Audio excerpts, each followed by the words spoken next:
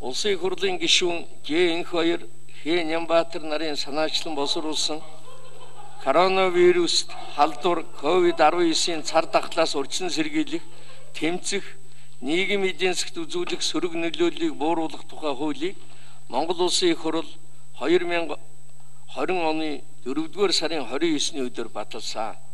Уг хуулийн 6 дугаар зүйлийн 6-гийн 2 дахь хэсэгт коронавируст халдвар ковид-19-ийн цар тахлаас урьдчилан сэргийлэх, тэмцэх, нийгэм эдийн засгт үзүүлэх сөрөг нөлөөллийг бууруулах тухай хуулийн биелэлтийг сар тутам нээлттэйгээр хилэлцэж хяналт тавих, санал дүгнэлт гаргах үүрэг бүхий төр хороо байгуулахаар хуульчилсныг үндслэн улсын хурлын тухай хуулийн 25 дугаар зүйл улсын их хурлын чуулганы хуралдааны дэгийн тухай хуулийн 36 нэг иштрих дугаар зүйлийн 36-гийн нэг иштрих нэгдэх хэсэг заасны дагуу төрийн байгуулалтын байнгын хороо Улсын их хурлын тогтоодын төслийг санаачлан боловсруулж байнгын хорооны 2020 оны 5 дугаар сарын 12-ны өдрийн хуралдаанаараа хилэлцлээ.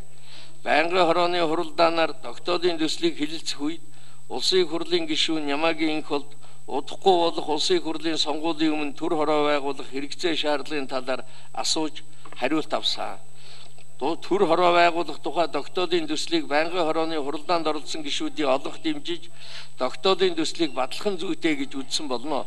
Улсын хурлын эрхэм гишүүдээ коронавируст халдвар ковид-19-ийн цар тахлаас урьдчилан сэргийлэх, тэмцэх, нийгэм эдийн засгт үзүүлэх сөрөг нөлөөллийг бууруулах тухай хуулийн биелэлтийг сар тутам нээлттэйгээр хэлэлцэж хяналт тавих шаардлагатай бол улсын хурлын холбогдох байнгын хорооны хуралдаанаар хэлэлцүүлэх санал дүгнэлт гарах үүрэг бүхий төр хороо байгуулах улсын хурлын тогтоолын төслийн талаарх төрийн байгуулалтын байнгын хорооны санал дүгнэлтийг хэлэлцсэн тогтоолын төслийг баталж өгөхийг та бүхнээс хүсэж байна.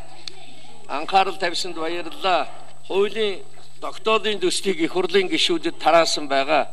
Батлах үед уншиж танилцуулах байхаа. Баярлалаа.